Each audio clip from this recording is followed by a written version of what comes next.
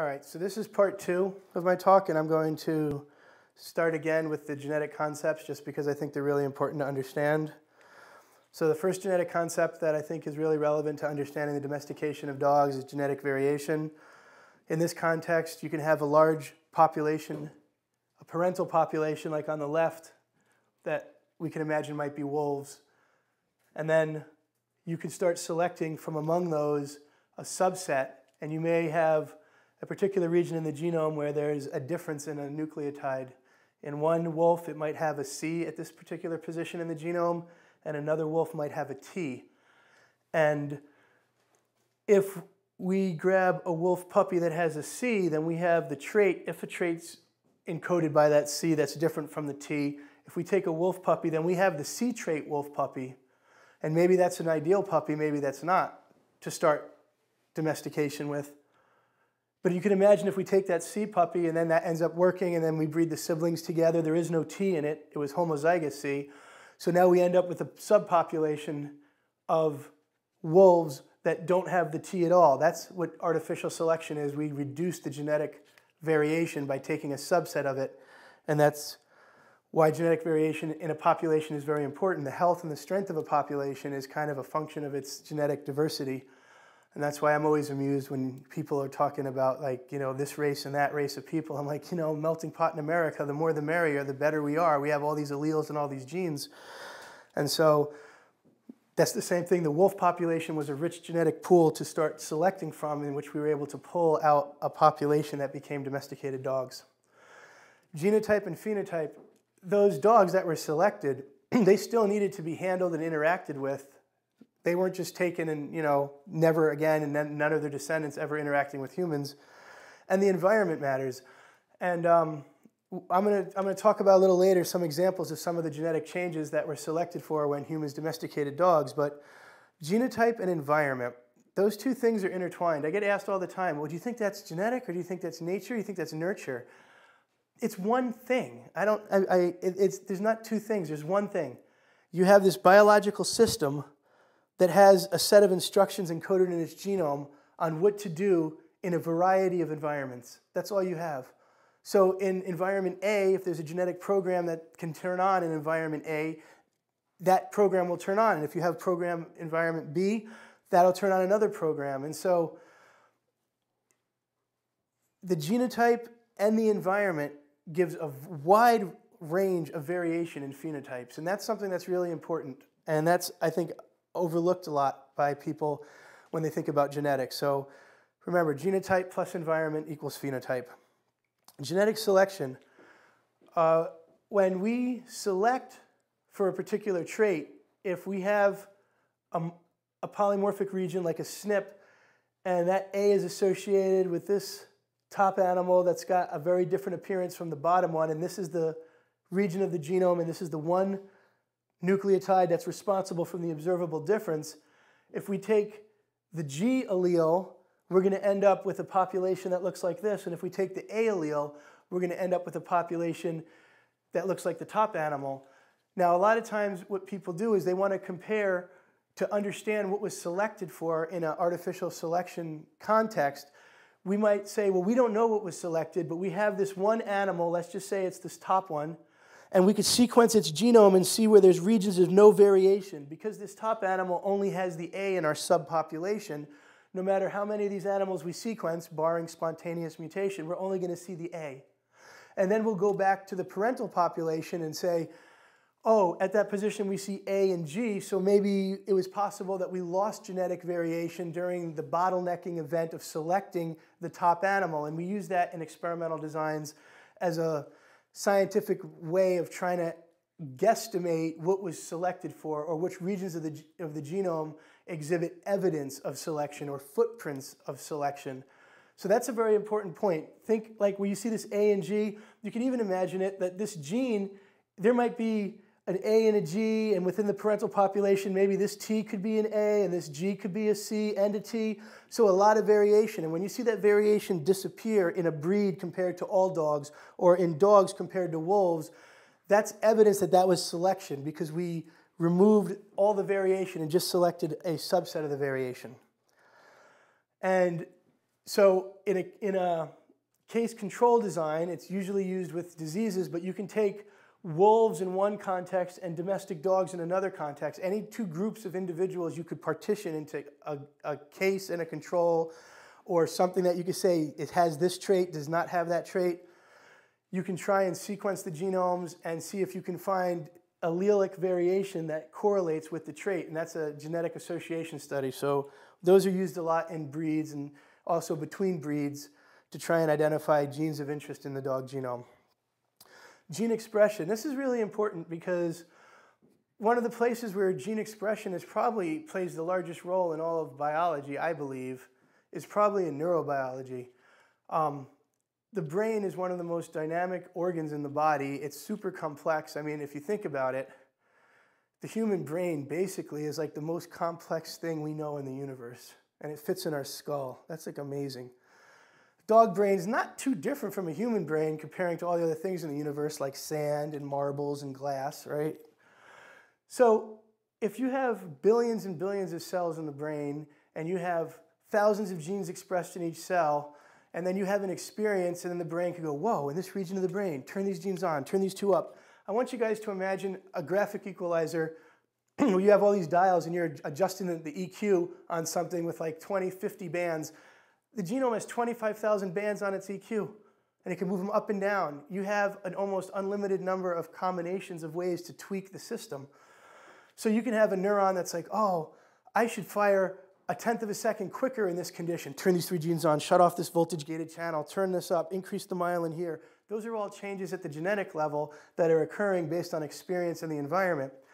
So one of the things people can do is you can look at the brains of wolves and the brains of dogs, and you can ask, okay, if I look at 10 wolves and I look at 10 dogs, are there regions of the brain that have different levels of gene expression between the domesticated dog and the wolf?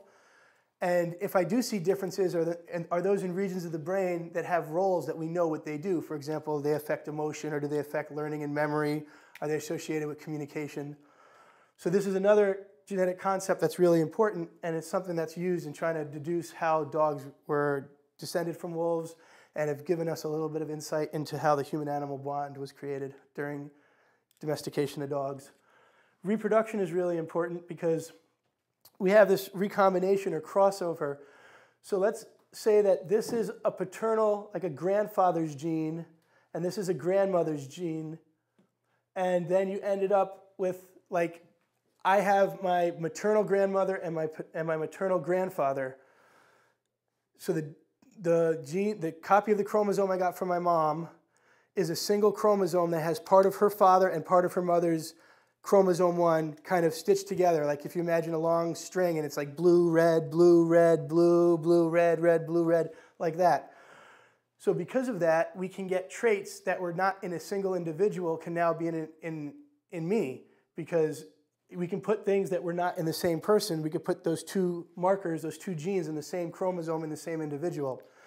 So when you have selective breeding and artificial selection and you're trying to do cross to get traits that you desire, the very fact that sexual reproduction causes chromosomes to swap pieces with each other as part of the gamete formation, sperm and egg are going to have these chromosomes that are combined of the grandparents for the, for the um, child that's being born in the future.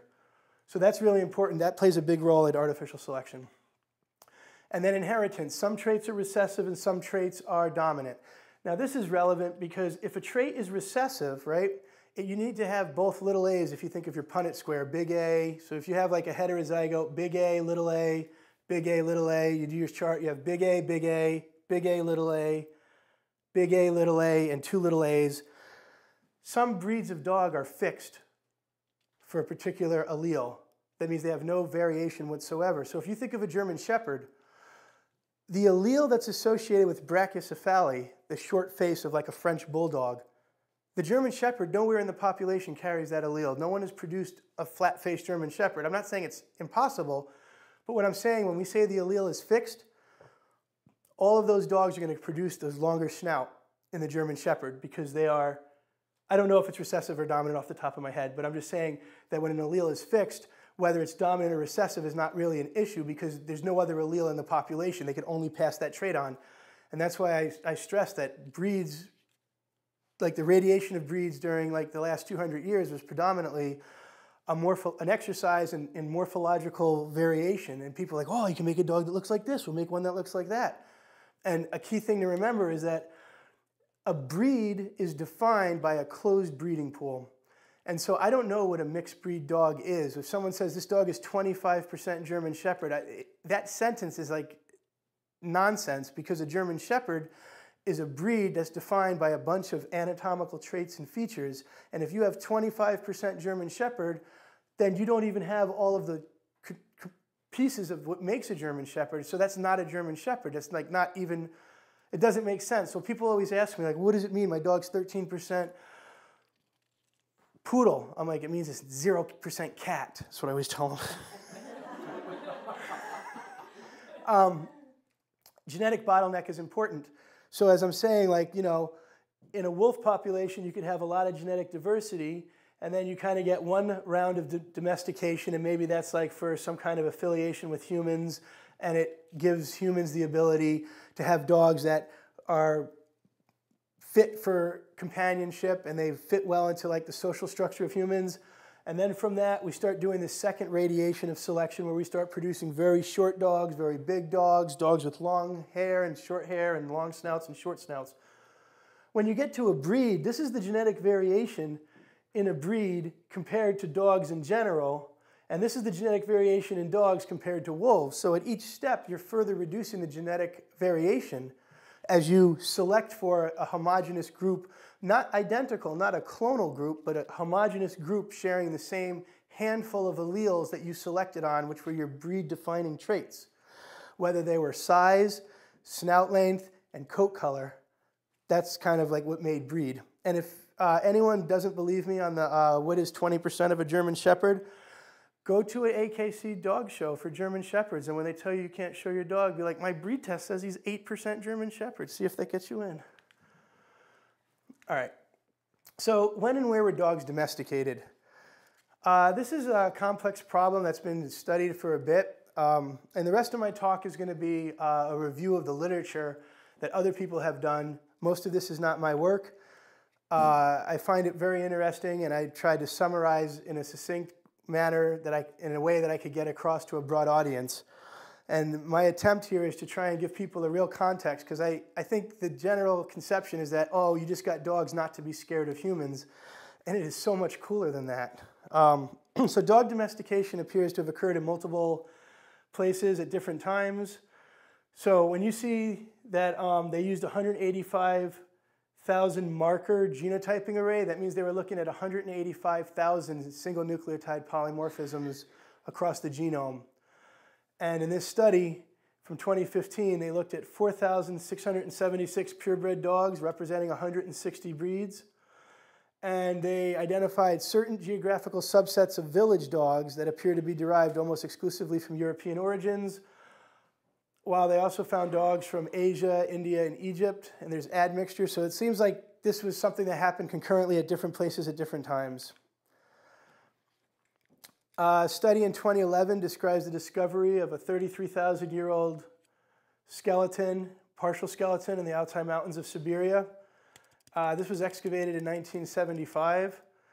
And when they started looking at this, um, they, you know, the paper starts describing the similarities to dog and not, and some people think like maybe this is the beginning of domestication, maybe it's wolf.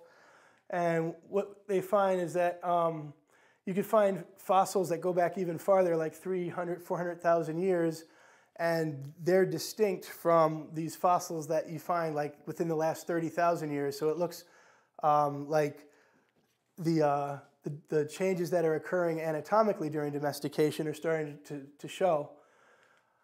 So um, haplotypes are, so remember when we were looking at that genetic variation, you could have a G or a T. Imagine if you had two of those next to each other. So you had a, very, a SNP here and a SNP here. Well, if the SNP here could be A or G, and the SNP here could be A or G, one haplotype is AG, an A at this position, a G at that position. Another haplotype is G at this position, G at that position. Another haplotype is A at this position. So a haplotype is a specific single strand of DNA and multiple variants as you as you scan along it. That's a haplotype. So this is not correct, but you can think of it as like a genotype on just one copy of the DNA, but it's along a stretch of DNA. A haplotype is basically a way to cheat. You can think of it as a sequence of the DNA, but we only look at the regions that are variable and we tell you what the, what the alleles are at the variable positions because the constant regions don't change. Okay, so analyzing haplotypes across ancient wolf samples, uh, at some samples that were 8,700 years old and 28,000 years old, some of those haplotypes are indistinguishable from haplotypes that are observed in geographically diverse breeds that exist today. So that suggests that if the dogs of today have those, then maybe these were their ancestors. So we're trying to put dates and times and places to the ancestors of our dog. And remember I talked in the previous session about the last common ancestor? So what we're trying to find is molecular evidence that the dogs of today came from some fossil or from some population of animals that lived so many years back. There's a haplotype that's observed in one 47,000 year old canid sample that was very distinct from the other wolf haplotypes, and it differed from current day haplotypes by just a handful of mutations. What that means is like, wow, in 50,000 years, you could have got two spontaneous SNPs, and that would be what we see in dogs today. So they're using inference to try and say that's pretty close to the genetic sequence we're seeing in dogs today. Not quite, but it's very different from wolf, but it's pretty close to dog, but it's not exactly dog. So um, the boxer genome was the first genome that was sequenced for dogs, and that genome was chosen because boxers are were boxers were anticipated to have less genetic diversity within the breed than other breeds. So when you are sequencing a genome and assembling a genome, what's the largest book you could think of? Or I don't know. Let's say you had like. Uh, the, the largest newspaper or something, and imagine you shred it into tiny pieces in a paper shredder, but you take 50 copies of the thing and you shred it in all different angles. That's what you get from DNA sequencing data, and then the way you assemble the genome is computationally. You take all the shreds and you try and line them up. You're like, the sun was shy. Then you see was shining, and so you line those two up and you assume they go together. Sometimes they do, sometimes they don't. But when you do deep sequencing, you get you get a lot more higher resolution coverage and you get um, more information. So the Boxer genome was completed and a study looked at sequencing three gray wolves, each centered on a geographical region presumed to correspond to a geographical dog domestication site, two basal dog lineages, the dingo and the Basenji, and the golden jackal and the public boxer. So they sequenced all of these, and then they assumed um, one in 10 million mutation rate. So I told you that DNA replication is imperfect and you get mutations when DNA copies itself. And I also told you in the last session that time is kind of the measuring stick for genetics. So what you do is you assume a certain amount of mutation and then you can sequence things and you can kind of estimate, well, if we expect one change in every thousand nucleotides every 5,000 years, you can count how many differences you have, and under your model, you can go, oh, well, maybe they had a common ancestor 25,000 years ago, or maybe they had a common ancestor 50,000 years ago. And, they, and this study uh, was used to produce a couple models of dog domestication. And um, these models are basically saying this is the golden jackal, uh, then you have the Croatian wolf, this is the boxer, um, the Israeli wolf, uh, the Basenji, the dingo, and the Chinese wolf. So just to, in general terms, explain this figure, this is time this way. So this is um, 398,000 years ago on the top left of this figure. And then the very bottom would be like today. And then where you see these horizontal connections, it means that this was one big population and it may have split. You could think of it like maybe the continents drifted and they could no longer interbreed, and then many thousands of years later, maybe people with ships crossed and let them breed again, just to give you an idea. And then each of these things coming out of this is so this might have been wolves. And the idea is that this is the model that's uh, believed to be the most correct one. And you can see like the golden jackal came out of a lineage of wolves that had very little interaction genetically or reproductively with these other things until relatively recently. And the boxer, Basenji, and dingo are all coming out of this lineage from these wolves. Now, what's important about this is that the idea that I want to get across that I think is really important to understand is that all of the domesticated dogs we have today came out of this radiation from wolves. Because when we get to boxer, this, these lines here, this is saying this is like, uh, these are like the numbers in here. So this is like the effective population size. So when you get down to boxer, when you get down to these dogs, they all went through whatever events were used to get wolves domesticated. All breeds had it. So someone's like, is this breed dangerous or is that? All these dogs were selected artificially for the same traits. And I'm going to start telling you what genetics is telling us about those traits in a second. But I want you to understand that in this, this is a bottleneck. We talked about bottlenecks. So you have this diverse population of wolf genetics, and now you get a bottleneck that we get the domesticated dog coming out of. And there's some crossbreeding within these populations, but the main point is that that's an individual, excuse me, that's an individual bottleneck. So artificial selection in dogs. Here's a really cool example, and, and um, I talked a little bit in the previous session about amylase and starch. You know, we had an agricultural revolution in human in, uh, history about 10,000 years ago where we started producing agriculture and growing crops.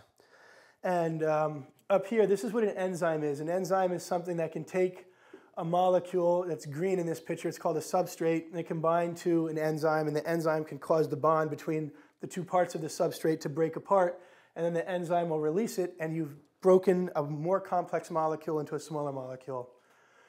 Amylase, or amylase 2B, breaks apart starch.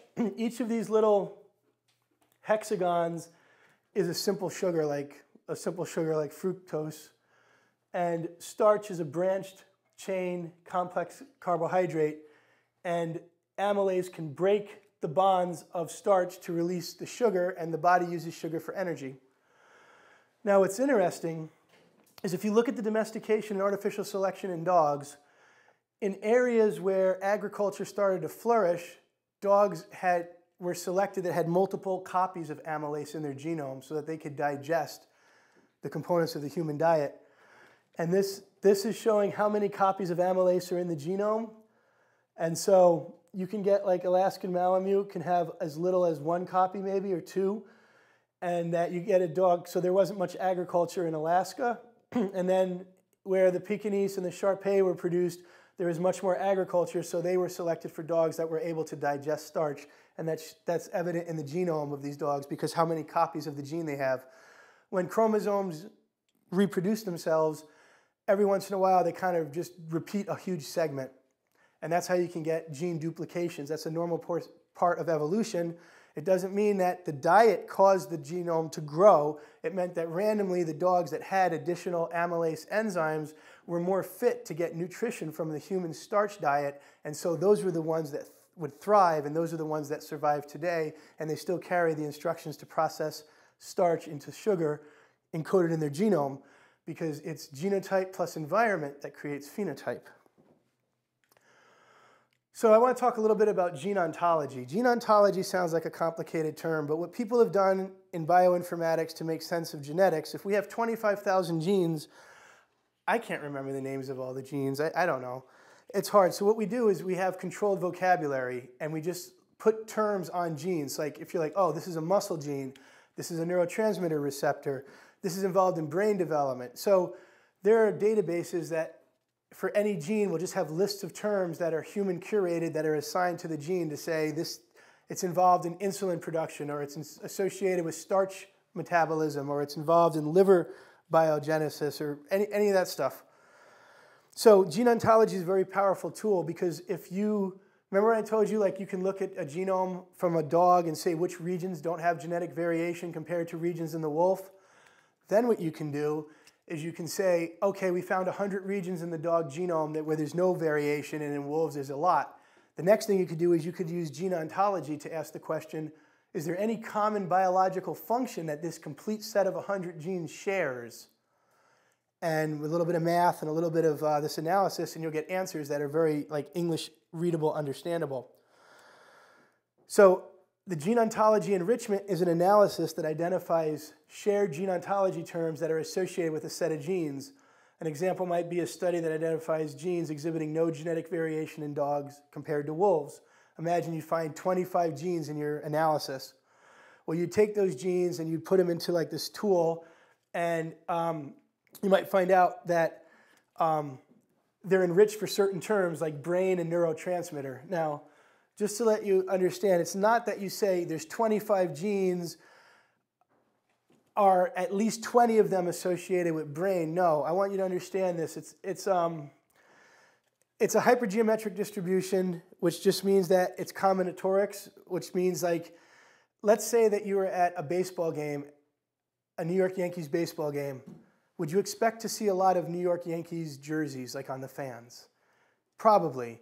But if you were just randomly somewhere else, if one out of six people had a New York jersey on, you'd be like, that's weird. Okay, another example would be like, let's say that there's a huge international meeting for medicine, and normally at the airport, there's people from all walks of life, and then on this one weekend, if you were to if you were to ask people, one out of every three people was in the medical field, that's an example of enrichment. And what it really means is like if there are 200 genes in the genome that are associated with neurotransmitter production, which there's many more, but I'm just saying like 200, and there's 25,000 genes in the genome, there's your lotto ticket. So let's say you found 25 genes, so you pick 25 numbers from the 25,000 choices on the lotto ticket, which is, you, we can't even win it with 50 numbers with six, choosing six. And if you got 20 out of 25 genes were involved in neurotransmitters, that would be a super high signal because there's only 200 in the genome and there might be like 100 billion ways to choose 25 genes from 25,000. So the point is, is that this is a rigorous mathematical method that will assign biological functions to genes based on the properties that the group of genes as a whole shares. So if we start asking how did dogs' brains change during domestication, what we find is that in one study in 2004, the mRNA expression levels of 7,700 genes were analyzed between the hypothalamus, the amygdala, and the frontal lobe. And that was in wolves and coyotes and dogs. And in the first set of gene expression experiments, 156 genes were identified as having region specific expression in all three species, meaning that those genes were in those regions. And then in a second set, 114 genes exhibited expression differences between the species within the brain region. So it might be this gene is really high in the amygdala in wolf and it's off in dog, or it's low in dog but it's really high in wolf. And when they did the gene ontology analysis to find out what biological functions were associated with these genes, they found neurogenesis, which is production of brain cells or the production of the brain, cell to cell communication, which is like neurotransmission, and again, the word neurotransmission. And these words are just placeholders. It's not just random, it's deeper than that. But it means that these were genes like, I'm making this up, I don't know off the top of my head, but like serotonin receptor, dopamine receptor, glutamate receptor, um, neurotransmitter biosynthetic enzymes. So when they ask which genes are most different between these regions of the brain, you know, we know the frontal lobe is involved in planning and thinking. We know the hypothalamus regulates some of the um, some of like our flight or fight response, and we know the amygdala is a center that controls emotion. So when we find these genes that are different between the levels that they're on in wolves compared to domestic dogs, that's evidence that this, these genes were some of the things that were, their expression levels were modified by genetic variations that controlled how high and how low these genes go in domesticated dog, and that they're very much related to neurobiology. So just as an example, this is a paper saying dopamine in the medial amygdala network mediates human bonding.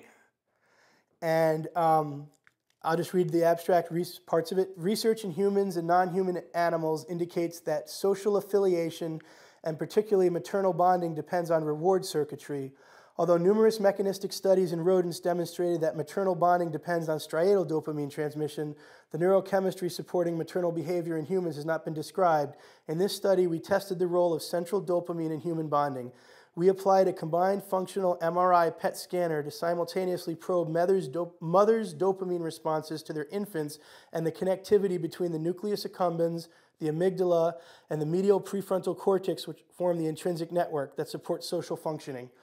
So I'm showing this paper to show that the expression of genes in the amygdala does play a role in bonding, social networks. And I'm showing that the domestication of dogs is modulating gene expression in the same region of the brain that's implicated in social bonding. And I want to underscore that this is kind of in contrast to It's not just that we reduced the flight, the, the flight distance of dogs, we just got them not scared. We're actually creating bonds, strong emotional, neurobiological connections with our companion animals. So, um, Li et al. in 2013 assessed a population differentiation between Ch Chinese native dogs, gray wolves, and German shepherds, and he used about 50,000 genetic variants. Um, when he looked at the gene ontology, biological process enrichment, it revealed that 30, 42 genes were associated with behavior. Now, I want to stress that bottleneck that all domestic dogs came out of, all the dogs that we have today in breeds share this selection. I mean, it's possible that some of these could be German Shepherd specific, but a lot of this domestication occurred thousands of years ago before we had breeds, and sometimes a single breed is a good proxy for dogs in general. But the point is, is that since we're comparing them to wolves, it's not like we're comparing them to labs and to Shar-Peis and poodles. We're saying domesticated dog versus wolf, 42 genes were associated with behavior. And these are genes that exhibit less genetic variation in dogs compared to wolves. And the authors make the claim that artificial selection during the primary splitting of dogs from wolves, which is this, I'm just going to go up a bit, this, the primary splitting here, and then you can imagine that we have radiation of dog breeds down these purple legs as you start pulling out classes of dogs for the breeds that exploded in the last 200 years. The primary splitting, these people are saying, that the primary splitting of dogs from wolves was associated with rapid brain evolution, and furthermore, they connect the emergence of dog specific behaviors during domestication with altered gene expression changes in their brains. A second study by Li et al. compared the published resequenced genomes of three wolves and 10 dogs to an additional three wolves and Chinese dogs, and they found genes, these are like glutamate receptor interacting protein and GABA receptor, so they identified these neurological genes, and, the, and these exhibited fixed alleles between dogs and wolves. And I told you fixed means that there is no other variant at that location within the population. So when it's fixed, it means no matter what you cross, there's no variation there. So we excluded a large variety of, uh, of allelic variation that was present in the wolf population from the dogs. So all companion dogs have undergone this selection at the neurological level for affiliation and social bonding with humans. Gene ontology enrichment identified significantly enriched terms of adenylate cyclase inhibiting G protein receptor activity, um, glutamate receptor signaling. You know, glutamate is involved in learning and memory. Um, there's an NMDA receptor, which is a type of um, glutamate receptor, and the NMDA receptor is really interesting that like most neurotransmitter receptors just open or close, this one can only open when a neuron is firing because it has an ion in it that blocks it from working. And when a neuron is already firing, that ion comes out and then it gets stimulated by another neuron. So it's a coincidence detector. And so if you don't, if this gene is mutated, there's significant deficiencies in memory. So they're saying that Glutamate is the brain's main excitatory neurotransmitter and it regulates behaviors, emotions, cognitive abilities, as well as learning and memory. So I want to make the case that dogs were selected for not just reduced fear, but for a tremendously strong attachment to humans and a focus on humans more than just being around them. Um, so this is like the object choice test where food could be hidden somewhere, like in B or A, and then someone points. And chimpanzees aren't very good at this task. If you point, the chimpanzee doesn't really understand what you're doing. but with dogs, dogs can very easily pick up on human pointing gestures. And um, you can imagine that across many cultures, regardless of language spoken, gestures are probably pretty similar. Come here, go, you know, I love you. so that would be a very common thing. And so if you're out with your dog doing something, you might you might point to your dog. So dogs being able to respond to pointing, we're probably this is a really good dog. Oh yeah, I could tell him things and he listens. Well, cross that dog with this dog. My dog does this. The idea is that people were breeding dogs not just for reduced fear, but for ability to understand humans and almost be telepathic with humans in that we're pointing and we're touching things and we're using eye gestures and the dogs are responding to that stuff. So the neuropeptide hormone oxytocin has a well-established role underlying social bonding in mammals. It mediates social relationships and social interactions. In humans, oxytocin coordinates parental responses after physical contact with offspring and interactions between sexual partners, interactions with friends, and empathetic interactions with strangers. So empathy is an important role in social bonding. so oxytocin increases trust in humans. And I'll just read the highlighted part. Here we show that intranasal administration of oxytocin causes substantial increase in trust among humans, thereby greatly increasing the benefits from social interactions. So I show this paper to understand the role of oxytocin in general in an organism that we can appreciate, which is Homo sapiens. And social reward requires coordinated activity of the nucleus accumbens and oxytocin and serotonin. So the neuropeptide oxytocin regulates parochial altruism and intergroup conflict among humans. so oxytocin drives a tend and defend response in that it promoted in-group trust and cooperation and defensive but not offensive aggression towards competing outgroups. So in 2014, uh, a study was done where they identified a pro-social role for oxytocin in dogs. The authors describe a study in which dogs were given either oxytocin or a placebo and were assessed for affiliation with either dog or human partners. The results demonstrated that dogs administered oxytocin exhibit greater affiliation towards their owners compared to placebo. the results suggest that oxytocin facilitates pro-social interactions among dogs and humans. And they point out that their results are in line with studies in humans that demonstrate increased trust. This is the, uh, this is, uh, let me see. Um, oh, I want to say one other thing. oxytocin is something that plays a big role in maternal bonding with infants. And um, oxytocin is released when, um, when women feed children.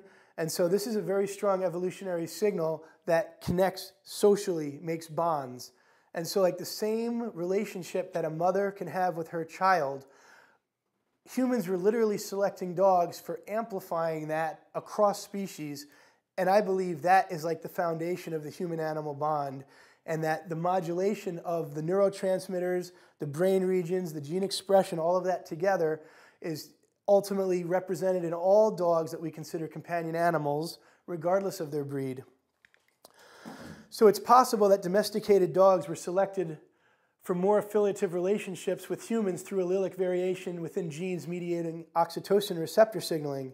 Existing allelic variation in oxytocin receptor among dogs has been associated with specific phenotypes. For example, Kis et al. describe a study in which the oxytocin receptor variants in dogs uh, support this. Their study identified evidence that polymorphisms within the oxytocin receptor modulate human directed social behavior. They genotyped 103 border collies and a single population of German shepherds and assessed behavioral phenotypes across five specific tests greeting the dog, separation from owner, problem solving, threatening a stranger, and owner hiding from dog.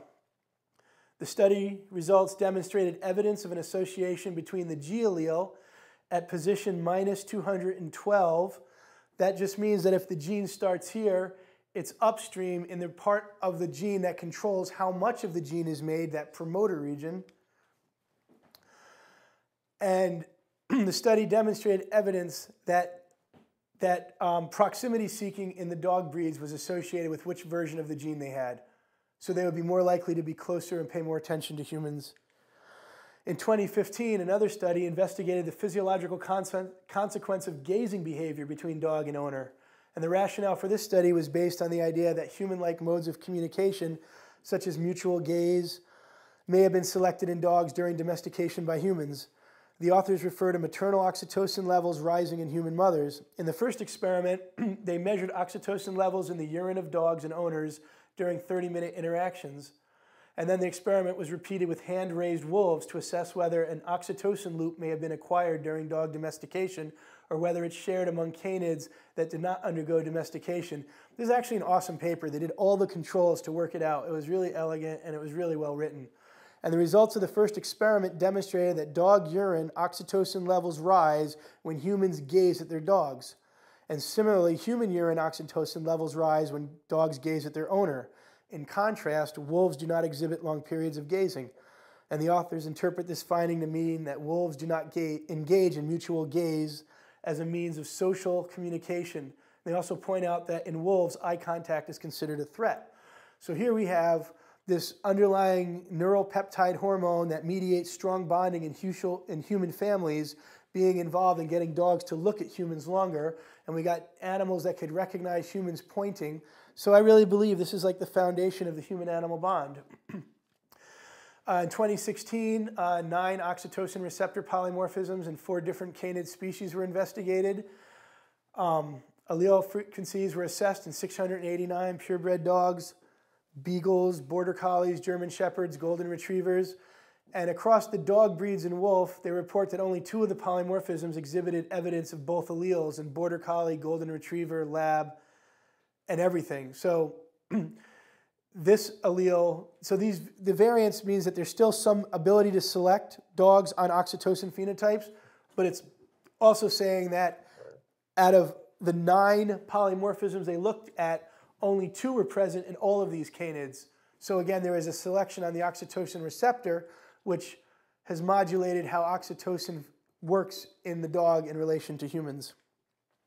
So the take home message is that given the phenotypic evidence provided by cognitive neuroscience, combined with the genetic evidence of phenotype genotype relationships, it's plausible that artificial selection during dog domestication modulated neural circuitry in the dog, resulting in significant social and cognitive attachment to humans.